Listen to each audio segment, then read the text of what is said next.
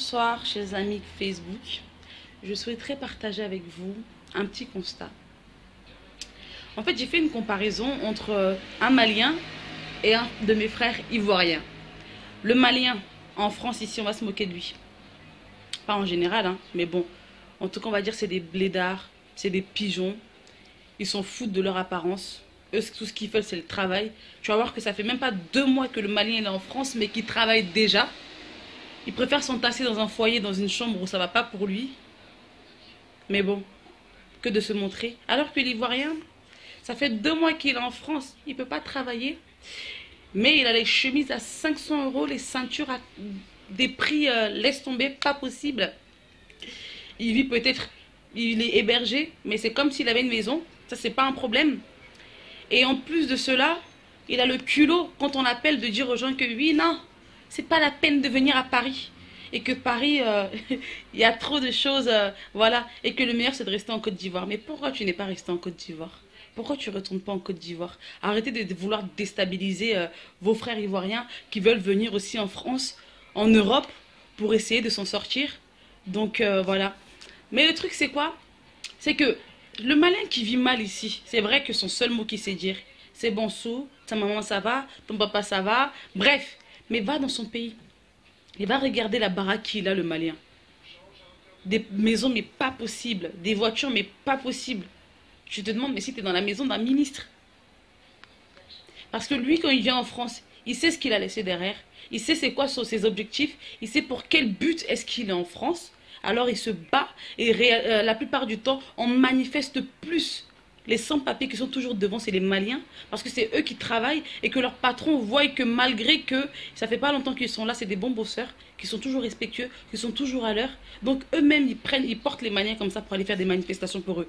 Et nos, nos frères ivoiriens, comme d'habitude, eux, ils sont toujours derrière dans la manifestation, parce qu'ils sont là pour accompagner les manifestants. Et ils s'en foutent d'avoir les papiers, parce qu'ils ne travaillent pas. Il n'y a aucun patron qui va aller se battre pour lui, pour qu'il puisse avoir ses papiers. Tout le monde s'en fout.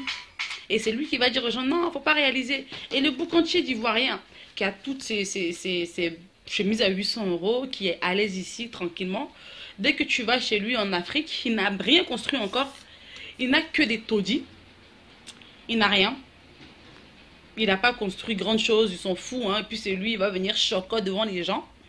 Et à dire aux gens que ça sert à rien de venir en Europe. Parce qu'il n'y a rien pour vous ici. Il y a tout ici. Parce que même si tu n'as rien à manger, il y a la Croix-Rouge qui va te donner un bon pour que tu puisses manger. Même si tu n'as pas de papier et que euh, tu es malade, ils vont te donner une carte malgré que tu n'as pas les papiers. Ils vont te donner une carte pour que tu puisses te soigner. Alors qu'en Afrique, juste pour une migraine, le temps de faire la queue, tu as déjà eu Alzheimer dans la queue. Parce que c'est fini pour toi? Le temps d'aller te mettre une perfusion, ils vont te demander un prix même que tu peux même pas imaginer. Lui, il a tout ça gratuitement il mange gratuitement pendant que toi tu fais la grève de faim et c'est lui qui va te dire que l'Europe c'est pas bien, ça sert à rien de venir ici. Comme je disais à un ami sur Facebook, que l'Europe c'est pas question que c'est pas bien. Si tu sais ce que tu as laissé, si tu sais quels sont tes objectifs et ce que tu veux dans ta vie, l'Europe c'est bien. Si tu t'accroches à les bonnes personnes, si tu laisses pas les Ivoiriens pour venir t'accrocher à un autre groupe d'Ivoiriens ici, laisse tomber, ça sert à rien ça sert à rien. Donc tu sais ce que tu as laissé, tu sais ce que tu voulais réellement, pourquoi tu voulais venir en Europe. Oui, ça sera bien pour toi. Toutes tes portes, elles, te seront ouvertes parce que tu n'as pas peur. faut pas avoir peur de, foncer, tu vois. Donc, euh, je pense que j'ai fait le tour, un peu, mais j'ai pas voulu rentrer trop dans les profondeurs. Donc euh, voilà, mes chers Ivoiriens qui sont en Côte d'Ivoire, en Afrique ou autres, qui veulent, enfin, tous les Africains même, qui veulent venir en Europe, il y a une place pour tout le monde. Le français, il est bon, il peut t'aider. Comme il, est mauvais, il peut ne pas t'aider, tu vois. Mais ça dépend de ta qualité de vie, de comment est-ce que tu marches. Donc, essayons tous, arrêtez de, vous qui êtes en Europe aussi, arrêtez de décourager ceux qui sont en Afrique en leur disant que l'Afrique, euh, l'Europe, c'est mauvais. Arrêtez de mentir un peu. Ou sinon, retournez en Afrique. Donc, voilà, petite parenthèse. Et puis, bonne journée à vous. Bye.